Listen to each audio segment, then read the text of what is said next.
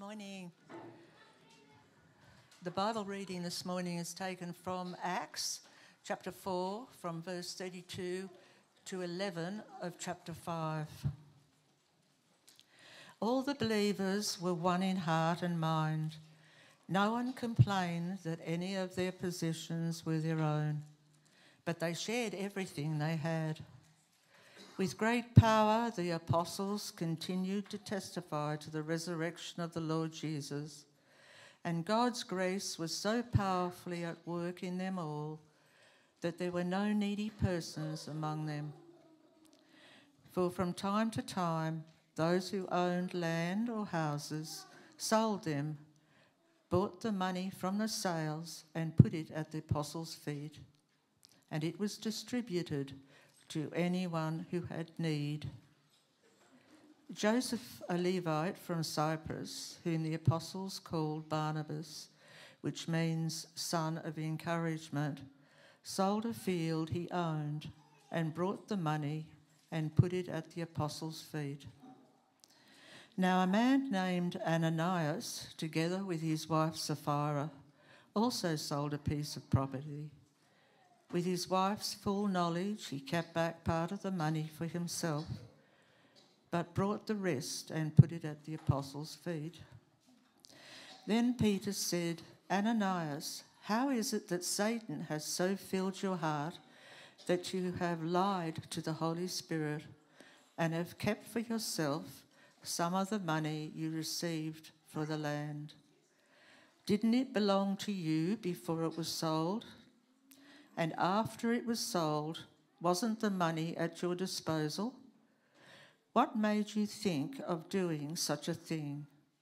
You have not lied just to human beings, but to God. When Ananias heard this, he fell down and died, and great fear seized all who heard what had happened. Then some young men came forward, wrapped up his body, and carried him out and buried him. About three hours later, his wife came in, not knowing what had happened. Peter asked her, Tell me, is this the price you and Ananias got for the land? Yes, she said, that is the price. Peter said to her, How could you conspire to test the Spirit of the Lord? Listen, the feet of the men who buried your husband are at the door, and they will carry you out also. At that moment, she fell down at his feet and died.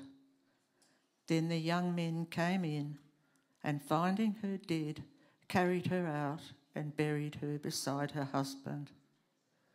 Great fear seized the whole church and all who heard about these events. This is the word of the Lord.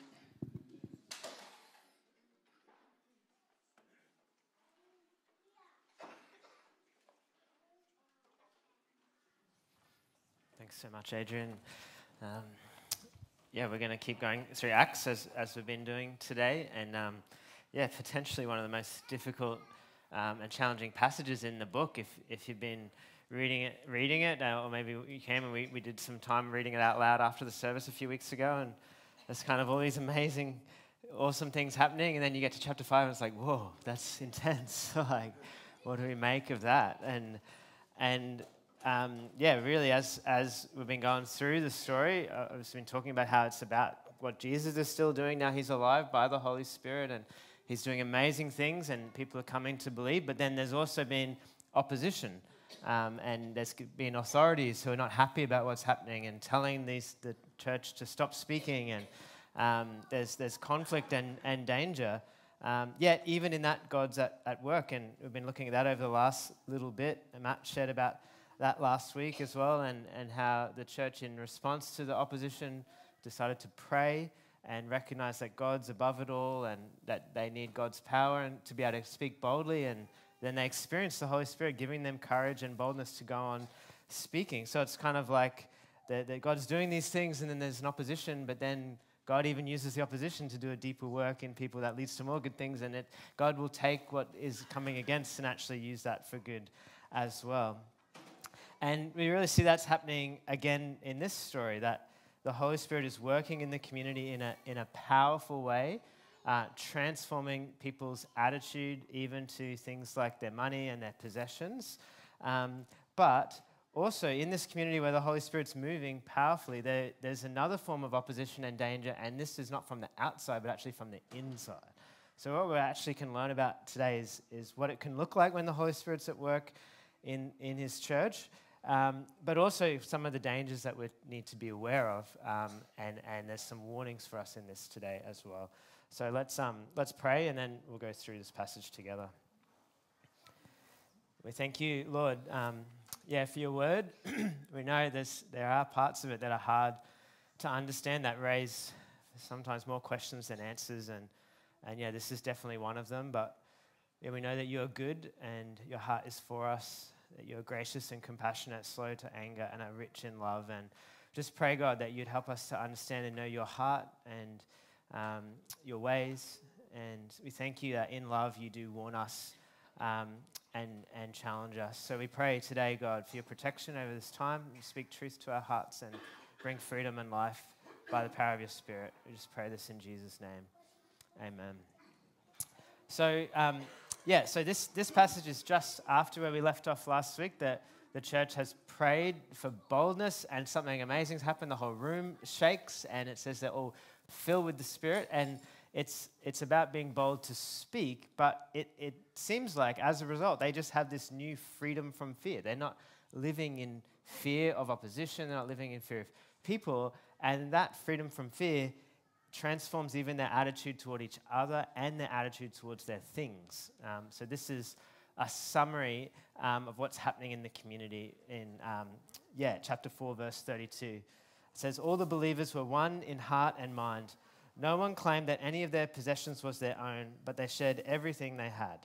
With great power, the apostles continued to testify to the resurrection of the Lord Jesus, and God's grace was so powerfully at work in them all that there was no needy persons among them. From time to time, those who owned land or houses sold them, brought the money from the sales, and put it at the apostles' feet, and it was distributed to anyone who had need. So there's there's a grace of God at work in the community. It says that there's great grace and great power. So, because Jesus is alive and the Holy Spirit is present, God's moving in this community and it's transforming them in their attitude toward each other and in their attitude and action toward their possessions. In this community, this is like an amazing picture of what it's like that there's this great sense of humility and that they are humble and united as one, that they have this oneness of heart and mind, that, that, that it, it, they, this is not, they still retain ownership of their things, but they count them as being everybody's things. They, they share them with each other. They, they feel this sense of great unity, which then actually does lead to acts of radical generosity, where when there's people in need, eh, it's like there's something that God's doing in this community that, that people start to, of their own accord, go and sell their possessions and, and things that, that were really significant, like houses and land, um, and come and, and surrender the money and, and say, This is for anyone in need in the community. And this um, was a significant thing because there would have been lots of people in need in the church community. Many people would have been had traveled to Jerusalem, not lived there, not had work, would have been totally dependent. Um, so that there was a particular need at this time for, for people to be supported in large numbers at, right at the start of this movement. Um, and, but what happens is really this amazing picture of a community where there's no one in need. Uh, and what's amazing is that this has actually been God's desire, um, in reference all the way back in Deuteronomy, that He would have a people who He dwells with, and as a result of that, that they're people characterized by generosity, so that there's no one who's poor and, and that's described in Deuteronomy, but they're not really experienced. But they're experiencing this here. It's a sign that this is actually what it's like for people to be in community with God's presence at work. There's a freedom from poverty. Actually, there's no need for people to be poor. And part of the reason for that is because people are experiencing a freedom from possessions. They're not freed and bound by their possessions and their money. They're actually free to be generous, and then that's freeing people from poverty. There's this amazing sense of freedom that comes from the Spirit. And again, it's because of Jesus' resurrection and because God's actually doing something in the community. And it's because of that, but then also what's happening becomes a sign of the fact that Jesus is alive. And the community, through these concrete acts, are becoming a witness. Uh, and then the, it describes one particular person who's an example of what is happening, uh, whose name is Joseph, or often called Barnabas. It says, Joseph, a Levite from Cyprus, whom the apostles called Barnabas, which means son of encouragement, sold a field he owned and brought the money and put it at the apostles' feet. So he is really held up as an example of someone who represents and reflects the work that the Spirit's doing. So it's not, it's not everybody doing this, but there is a number of people, and it, and it seems that he's particularly, this is a particular story that people started to tell and share that this man generously, uh, which brought a lot of encouragement, came and surrendered a field that he had. There's this move of humility and generosity.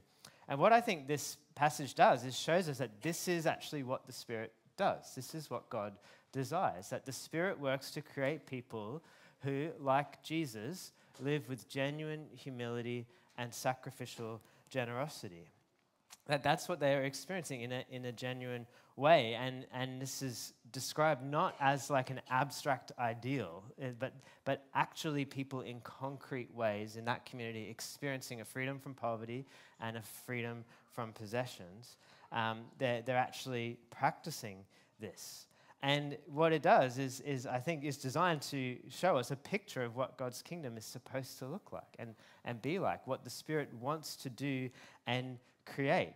Um, that this is actually uh, not um, presented as an obligation. Um, and even in this passage, it's not even presented as like a really difficult thing, like it's really hard to be generous or, or humble. It's, it's, it's presented as this is life, like this is joy. This is actually what we're invited to in the outworking of God in the, in the community.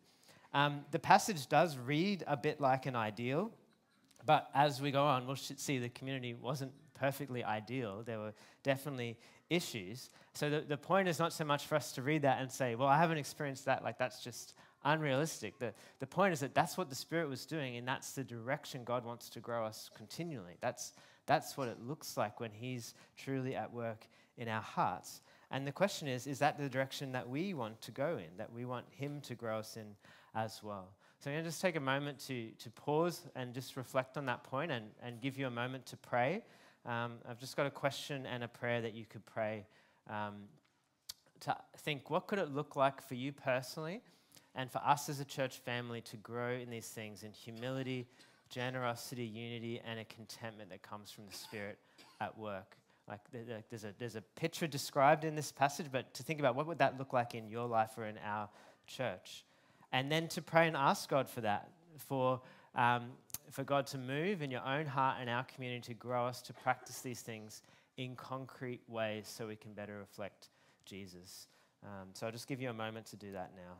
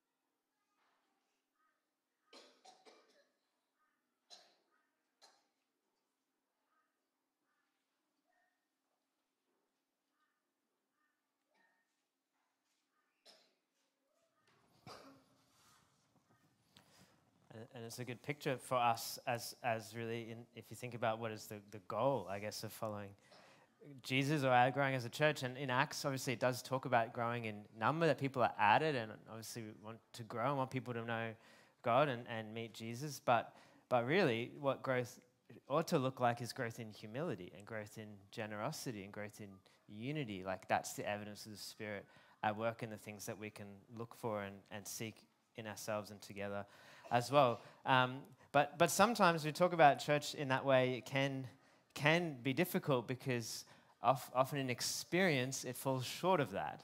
Um, and that's because this is not uh, the, the, the, picture, even in the early church, it, appears like this was like an idyllic community with everyone sharing and everything's perfect. But we read straight after that that wasn't the case, that there were major problems and, and challenges. So the, there was something real and concrete happening. God was doing that, but there's also opposition even from the inside. Um, it's not totally perfect and ideal. And really, the reason is because while the Spirit is doing a certain work, there is an opposition, there's an enemy who's seeking to corrupt and really do the opposite to what the Spirit is doing, tempting people not towards humility and generosity, but towards the opposite things, people in the church. So we see that in this story about Ananias and Sapphira. So I'll just read the first four verses of chapter 5. It says, Now a man named Ananias, together with his wife Sapphira, also sold a piece of property. With his wife's full knowledge, he kept back part of the money for himself, but brought the rest and put it at the apostles' feet. Then Peter said, Ananias, how is it that Satan has so filled your heart that you have lied to the Holy Spirit and have kept for yourself some of the money you received for the land? Didn't it belong to you before it was sold? And after it was sold, wasn't the money at your disposal? What made you think of doing such a thing? You have not lied just to human beings, but to God. Now, this is a very challenging story, and there's a lot in it. Um, but uh, I think one thing that's helped me even studying it is just actually reading it in the context of what's just happened. Because if you read this as an isolated story, it kind of can just seem random and strange. But if you read it, that this is in contrast to what has just been described, that, that Luke, in his writing, is highlighting that contrast, that what Barnabas has just done uh, clearly presented as something inspired by the Spirit that's been honored in the, the community as a positive example, this couple effectively do a very, very similar thing, but it's incredibly negative and becomes a warning of something not to do. So there's a, there's a strong contrast here. They're doing a very similar thing, but with a very different heart. And it shows that the heart is incredibly important. So, this is so intense that Peter it's such an interesting picture, right? This, this man is coming to give a huge amount of money to the church, probably. All right, we don't know how much, we don't know how much they held back, but however much, they're giving a lot of money to the church. But Peter's response is that their heart is filled with Satan. like, like, it's such an intense thing to say to someone who wants to give money to your church, right? Like, that's probably not what we would do. Um, we'd probably say, oh, thanks so much. Like, like but, but, but Peter, Peter says that, and there's a contrast again. Like, that this act is actually not an act that's been filled and inspired by the Holy Spirit. It's an act that looks similar, but it's been inspired by the Spirit's enemy, by Satan. So there's, it's quite subtle and complex. But what perhaps is going on is that as a result of seeing Barnabas's act of generosity, which it seems that he hasn't done this for credit, but that he has credit in the community for it, that he has been held up as an honored example of what the Spirit is doing, inspiring humility and, and generosity. And as a result, it seems to be that there's respect in the community that comes through that. And perhaps this couple also wanted to be respected in the community for their generosity. But there's a problem is that they're actually not as generous as they would like people to think that they are. That's the issue, is actually the reality of their heart. But instead of in humility accepting the truth of their heart, they devise a scheme to be able to be seen to be generous, while in truth actually secretly hiding their wealth. Is that's, that's the problem here. And it's made worse because they didn't need to do this. Like, there was no expectation or obligation that people sell their possessions. It, there was something that was happening, but it was a free, voluntary thing.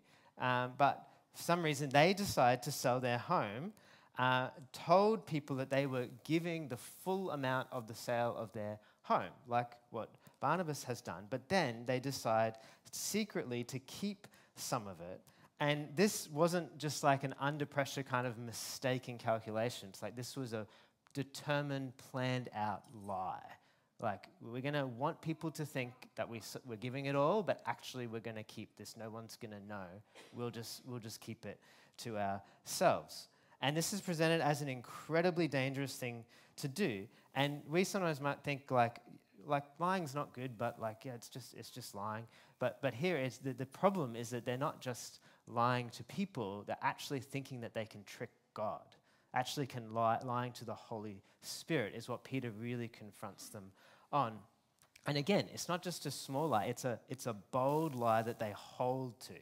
Um, I'm just going to skip forward a little bit because um, Peter speaks to Ananias and then he speaks to Sapphira afterwards. And we see that she's kind of tested and holds to the lie. It says in verse 8 Peter asked her, Tell me, is this the price that you, and Ananias, got for the land? Like the price that they gave?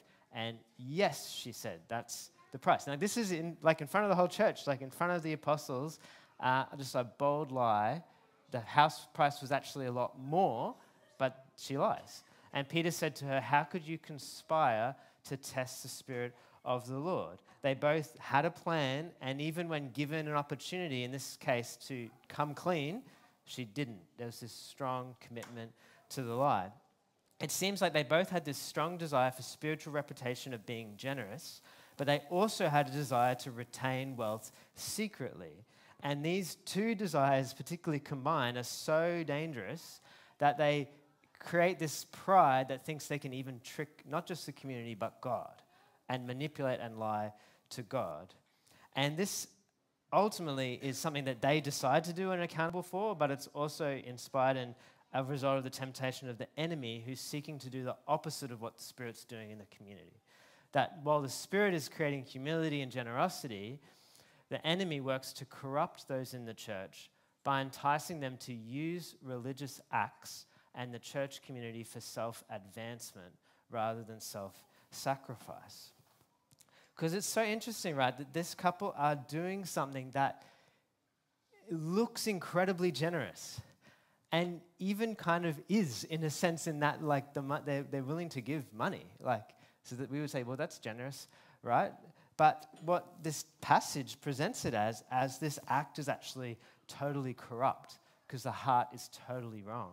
And God actually doesn't really care about what something looks like, He cares about what it is. He cares about the heart. And if what the Spirit is doing is, and what the Spirit wants in the church is humility and generosity, then when someone is doing religious things but the heart motivation is self advancement and pride and greed and results in deception and hypocrisy. Like, God is against that and, and He hates that. And it's even one of the main things that Jesus warns about as a strong spiritual danger. Um, Jesus warns in the Sermon on the Mount about the dangers of doing religious acts Things that are good, like praying and giving and fasting, the danger of doing them to be seen by the people, doing them for reputation. Um, and then Jesus also warns about the danger of trying to secure our lives by our wealth. He warns about the darkness of greed and how you cannot serve God and money. And in some ways, that's what their attempt is to do, is to, to serve God, but we're also going to serve money. And, and, it, and it creates this, this lie. Um, Dallas Willard um, summarizes Jesus' teaching on these things as, as really the two big dangers in the spiritual life, uh, like risks, you could say risks of being in a church community, like that, that this it could be us. Um, he says this Jesus in Matthew 6 alerts us to two main things that will block or hinder our life constantly interactive with God and healthy growth in the kingdom. These are the desire to have the approval of others especially for being devout, and the desire to secure ourselves by means of material wealth. If we allow them to, these two desires will pull us out of the sway of the kingdom and back into the barren righteousness of the scribes and the Pharisees. But as we keep these two things in their proper place, through a constant and disciplined and clear eyed reliance on God, we will go rapidly in the kingdom substance. Summarizes that these two things are actually really dangerous, and, and they are things that we may experience and, and, and do and have probably as, as a part of being in the church. That uh, if we come to church, if we follow Jesus, like these are the things that we do. Um, but the heart behind them actually really matters. And there's subtle temptations and dangers that we could be doing things that look good, we could be doing the right things, but for the totally wrong reason. We could be praying, worshiping, we could be giving and serving the poor, but the enemy tempting us to not be doing those things as acts of sacrificial love, but actually as ways to advance ourselves in a community, as ways to appear to be something special, or ways to try and find security in ourselves um, and our wealth rather than living before God's eyes and trusting in His care. So, again, we'll take a moment just to, to reflect on that and just encourage you maybe even to think like specifically, like think what are the things we do as a community, these things that Jesus describes, um, but what could it look like to actually be doing them without the right heart? How can we protect ourselves from that? A question and a prayer. In what ways could pride, greed, and hypocrisy be a danger for us who are in a church community seeking to serve God and each other? And then pray and ask God to protect your heart and our community from these dangers and rescue us when we fall into them. I'll just give you a moment to do that now.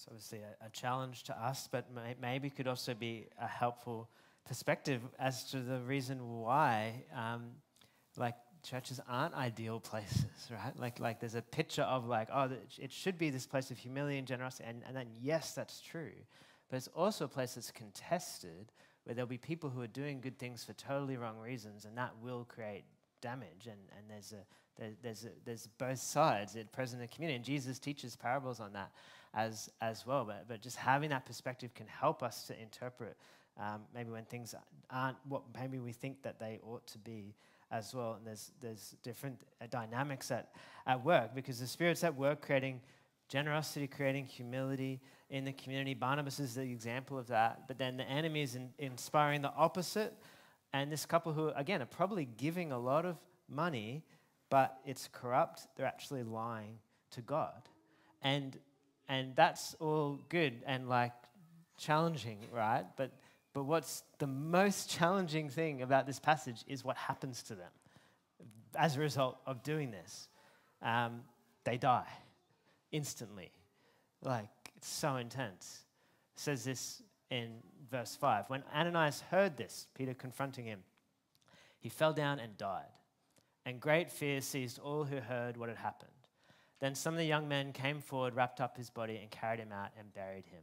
So then she, he's out getting buried. After a while, his wife comes in, has the same confrontation. She holds to the lie. Peter says to her, Listen, the feet of the buried your husband are at the door, and they will carry you out also. At that moment, she fell down at his feet and died. Then the young men came in and, finding her dead, carried her out and buried her beside her husband. Great fear seized the whole church and all who heard about these events. This is the most difficult thing, right? It's so intense. And we could say, well, yes, what they did was really wrong, but like sudden death, like, is so confusing in many ways.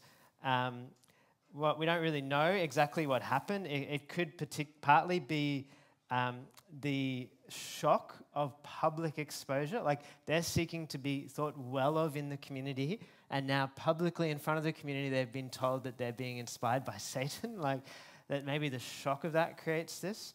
But what's implicit, I think, in the passage is that this is something that God does, um, which is confusing because it doesn't seem like God's nature or heart. Um, we know God is compassionate and gracious, desires people to forgive, gives people time. So that raises a lot of questions. And the truth is, there's probably more questions in this passage than necessarily answers. Um, but that's what we do with Scripture. We, we wrestle with it. We, we ask the questions and we ask God to speak to it. And, and sometimes we won't necessarily have the answer we exactly want. But I can give a couple of thoughts today and then think, well, what is the point of this, at least for us? Um, I think one thing to recognize is that this kind of thing happening is rare. This is not uh, something that happens like all the time in the stories. Like, it's really this just happens in this part in Acts, right? Like the like God's heart is to be slow to anger, to, to bear with people. He's compassionate.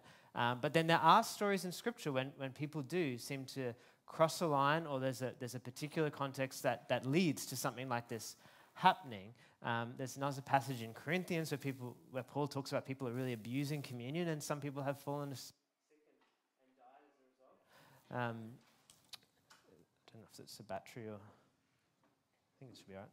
I can sw- let me know if you want me to swap over. But, um, uh, so yeah, it doesn't. It's not like a. It's not. This is not the norm, right? Like to to, to happen. Um, and also, like, we say, like, well, yeah, lying is bad, but like it's just a lie. But again, this is like a deliberate, persistent, like bold lie, and not just to people, but to God. And also, it's just at a key time in the life of the church. Like, the church is incredibly young, it is vulnerable. Um, it doesn't have like a lot of necessary protection against becoming corrupted. And, and perhaps the Holy Spirit decides to work in a very decisive and clear way in this case because religious hypocrisy is so dangerous. And, and this is a clear line drawn. Like, that's not okay. and again, that doesn't answer all the questions. Um, but I think what we could say is that the purpose of the story is that it is a warning and it actually is supposed to create a sense of fear in us. That what the result in this passage is that people go and tell people about this, and it creates great fear. Um, but that's actually presented as a positive thing. It's actually a good kind of fear that this community needs, and that we actually also need and need to be reminded of as well. And that's what this passage can do for us. It's good to be reminded that it is dangerously, dangerous to treat God casually or to try to manipulate God. Um, to rec- it's important to recognize He is holy. It's right to fear Him who knows and sees our hearts. Again, this, this news is spread um, and it creates this sense of fear, but, it, but it's, a, it's a positive thing. But which is also interesting because the passage just before that we looked at, like last week, was about being free from fear of people. Like the authorities are saying, you're not allowed to speak in Jesus' name. They, they say, God, give us boldness to speak so that we're not afraid. This passage, something happens that actually makes them fearful, but not of people, but of God. Uh, but that's actually positive to have the fear of God. And, and there's a complexity in scripture around this because the Bible again and again says, don't be afraid. Jesus, arisen from the dead, says, don't be afraid. God doesn't want us to have, a, He hasn't given us a spirit of fear, but then the Bible says again and again that it's good to fear God, that we are to fear God, that it's the beginning of wisdom to fear God. But if we think about it, like it actually makes sense. Like He is God, He is holy, He is big, He, he is way bigger than us, and He sees everything. He sees our hearts, He sees our motivations. Recognizing that and living in that reality is, is good. To, to sort of deny that is, and, and just live as if He's not there is dangerous. But it doesn't mean we're to be afraid of Him and hide from Him because He wants us to come to Him because He loves us and He's compassionate, He's kind and, and gracious. We don't have to cower in fear. It's interesting, even in this building we come into today, right, there are lots of dangerous things present in our building. Uh, we've been having different electrical work done recently. Um, uh, Gordon knows about and has been helping with. And we've had an electrician who loves to point out how old all of our things are and how much upgrading they need, and loves to highlight the fact that electricity is incredibly dangerous. and if you press the wrong thing, if you mess with it, like he, he says it's silent death. like it's just over. And but I don't think anyone's that afraid today of the electricity in the building, right? Like like it's present. There's power at work in the, in our building, but there's there's nothing to be afraid of. But if you didn't have a healthy fear of it and you just went up to the switchboard and started crossing wires and changing things or like pushing things into plugs because you don't know about that or you sort of just don't respect it, like that's incredibly dangerous. Like, like that you must not do that. There's a healthy fear that we don't do electrical work like electricians do that, and they have a healthy fear because they know the dangers and what's involved. And I think potentially that's a little bit what's happening here, right? Like this couple are not fearing God. They're being flippant with God. They're thinking they can trick God. They're thinking they can manipulate him and the community for their own gain. And in a sense, they cross the cables and they suffer consequences. And there's a healthy fear that actually keeps us from being casual with God, keeps us from crossing a line or doing something spiritually dangerous. And really, in many ways, the way to live in the fear of God is to recognize that it's His opinion and it's His perspective and it's Him who can see everything, and that's actually what matters, not what other people do think. There's a healthy fear, um, and it's really the antidote to the danger of hypocrisy and doing things for the approval of others. Um, it, that we don't have to fear what people think, but fear what God thinks, and recognize we can't trick Him, that He sees everything. So that there's a good fear in that sense, in that He is holy. And I think there's a danger in the, and there's a good warning in this passage because the truth is that going down a path of religious hypocrisy and greed um, does end in death. Like it disconnects us from God. And it's not that God rejects us, but in a sense, we may harden our hearts again and again so that we appear to be people who love God, but actually don't even care about Him. We care about everything else and we do religious things, but actually in our hearts don't honor Him. Jesus' strongest warnings was for people like that people who looked really good on the outside, people who were incredibly religious, but who just actually didn't fear God at all and actually didn't really care about God. And Jesus described them as dead on the inside. And this story is really in, intense and, and confusing, but it, it really is about the dangers of thinking that we could lie to God or we could manipulate God um, instead, we're called to humble ourselves before Him and recognize that He sees all, and ultimately it's His opinion that matters. So, again, we're going to take a moment to, to reflect on that, um, to think about what that could look like for us as a church and personally. So, um, a question and a prayer. What could it look like for you personally and us as a church family to live with a healthy fear of God? Pray and ask God to help you Delight in the fear of the Lord is a passage from Isaiah 11, and to live before your Father who sees in secret, which is what Jesus says to do in response to those dangers. So I'll just give you a moment to do that now.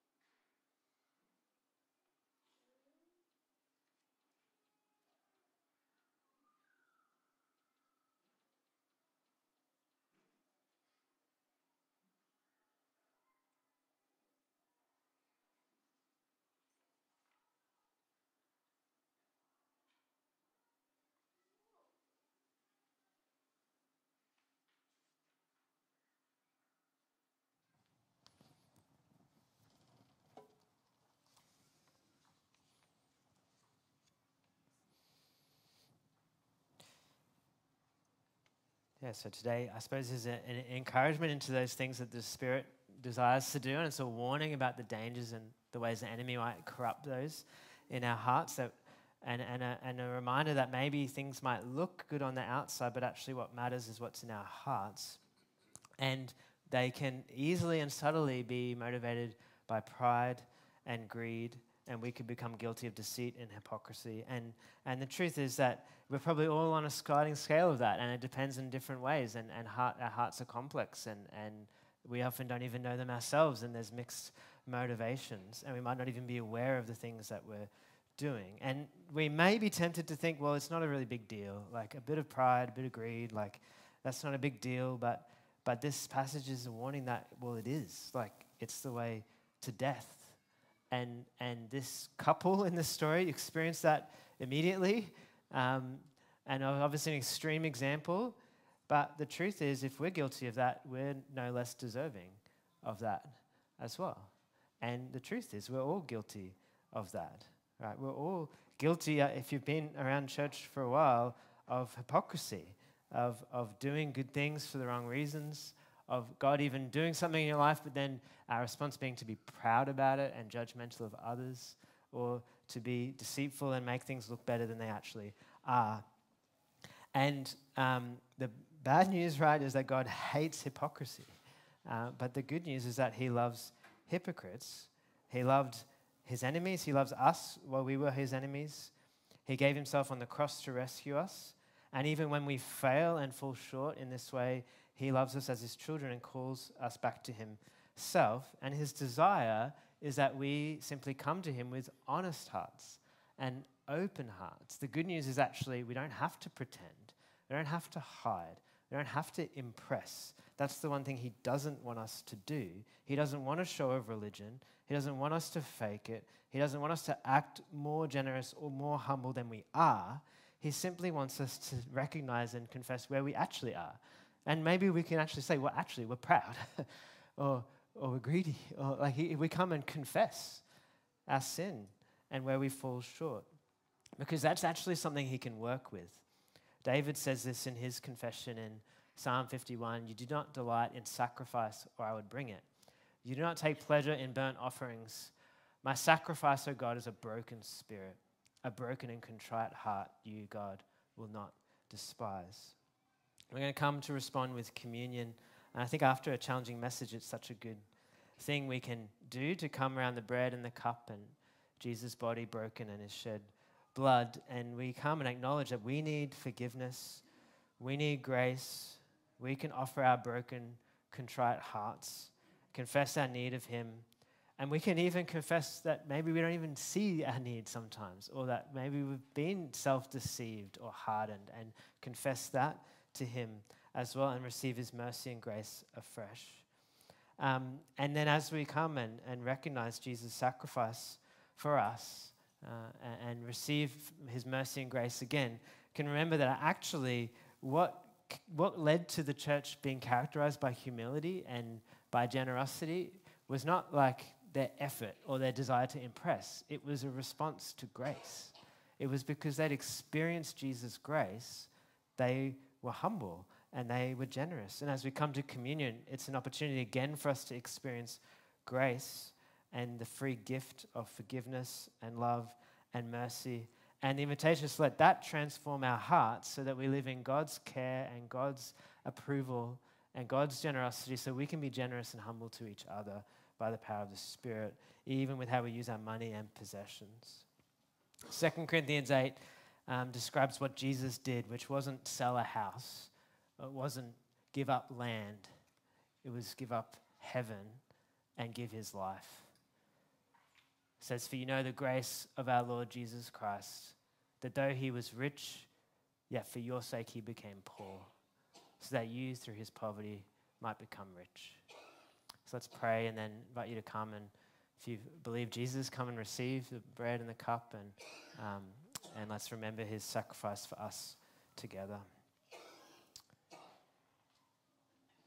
We thank you, Jesus, for your abundant grace and, and mercy and kindness um, to us as sinners. Thank you for how you bear with us, God, even in our pride, in our hypocrisy, in our deceit, Lord. Would you open our eyes? Would you forgive us our sins? Would you convict us and free us? We thank you that you desire truth in our hearts. You desire us to be open and honest before you. We ask that you'd protect us from these dangers. God, I ask you'd fill us with the right fear of you and respect for you and, and to live in awe of you and your holiness, but also experience your compassion and your mercy and grace. So, Holy Spirit, as you uh, led the church and inspired generosity and humility and protected against hypocrisy and greed, would you do that in our community? Would you do that in our hearts? We just open ourselves up to you in Jesus' name. Amen. And please come as you're ready and, and take bread and a cup.